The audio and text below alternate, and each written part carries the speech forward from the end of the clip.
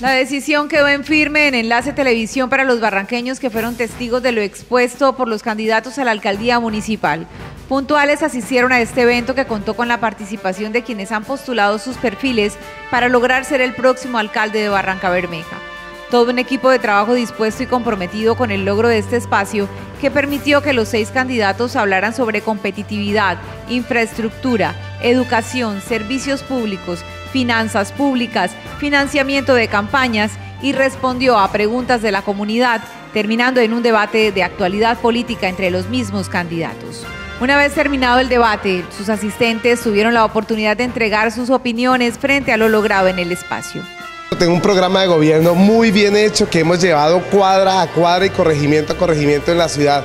Estoy muy contento para haber hecho una campaña respetuosa, llena de valores, llena de valores ciudadanos. Estoy muy feliz, muy feliz por todo el recibimiento además que me han dado y eterna gratitud con todos mis barranqueños. Dios me los bendiga siempre.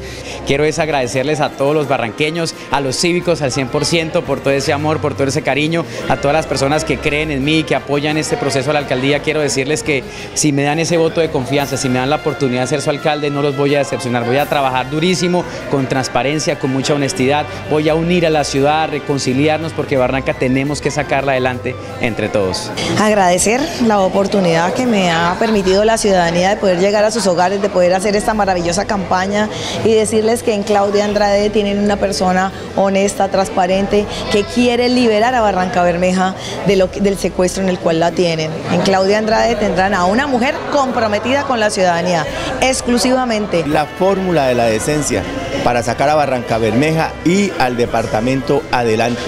Con él tenemos varios compromisos, defender el agua, sacar adelante el proyecto de modernización de la refinería, recuperar fertilizantes de Colombia y trabajar porque el hospital sea pase de segundo a tercer nivel así como mejorar todo lo educativo. Son compromisos colonias que vamos a cumplirle a la ciudad y a la región. Aquí hemos hablado de una Barranca Bermeja del siglo XXI que recupere el agua, que es siempre la bandera y lo fundamental de esta campaña. Hemos hablado de una ciudad competitiva que logre recuperar la confianza en la institucionalidad. Por eso Barranca Bermeja este 27 de octubre si hay por quien votar. Gracias y mil y mil gracias a cada uno de los ciudadanos que nos permitieron avanzar en este proyecto de la construcción de la nueva Barranca Bermeja.